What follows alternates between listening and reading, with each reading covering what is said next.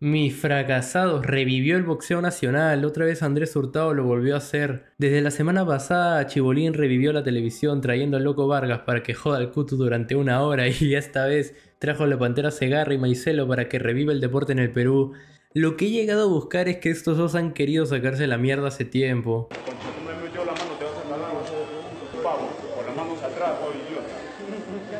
Ya te ponte la mano atrás, ponte la mano atrás.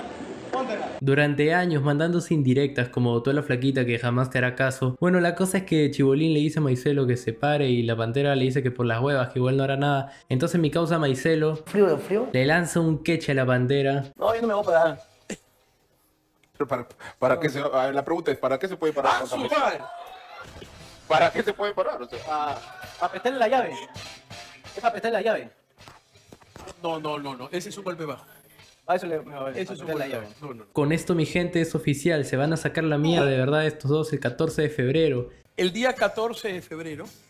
¿Por qué 14? ¿Será que estás enamorado? Porque sí. Después de anunciar la fecha se fueron a la mesa y a la mierda. Yo me acerqué a ti, a ver qué tú tú me vas a pegar, ¿no? Me acerqué a ti. ¿Dónde está Te tu miré a los ojos a, y no a tra- a nada. traición.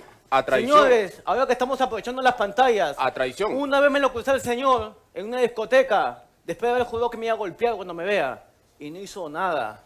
Bueno. Ahora metes a tu mujer diciendo que por No, ella pero nada. claro, pero ¿Cómo? por eso, Eh, eh, eh, favor. eh, ahí por eh, ejemplo, cobarde. eh, por eso, por eh, eso Das digo, pena, oye, das Eh, pena. pero y por eh, esa razón, pero, yo Jonathan, aceptó la pelea porque sé, eh, que, sé que eres un cobarde. no, Eh, yo acepto, pero ya, la- pero la, la Baja pelea revoluciones, la- ¿ah? Si no es hueveo y de verdad van a hacer esta pelea, así gastaría mi plata para verla. O si no me alcanza ya, pues me voy al día siguiente al restaurante de Maicelo, ya que la pantera dijo que iría sea cual sea el resultado. Permíteme. Entonces yo lo que voy a hacer, Sí. después de la pelea.